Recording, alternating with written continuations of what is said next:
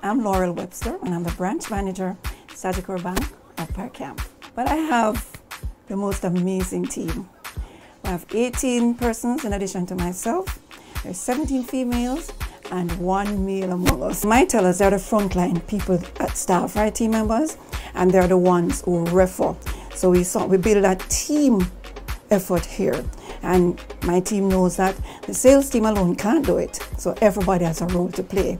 So as a team, I'm telling you, that I have the best sales team in Sagicor Bank. Just imagine in a pandemic, and we could do so well because trust me, they just they go for it. And I mean, we're talking about the loans, the credit cards, the devices. We don't skip a beat. I say to my team, guys, you did an awesome job. 2020 was not an ordinary year, and we did it.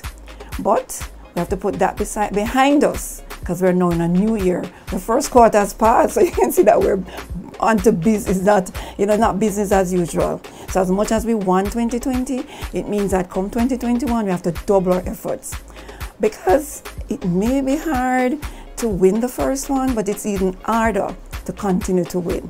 And I can tell you that my team is focused, they say, for the next three years. That trophy is coming to Up Park Camp.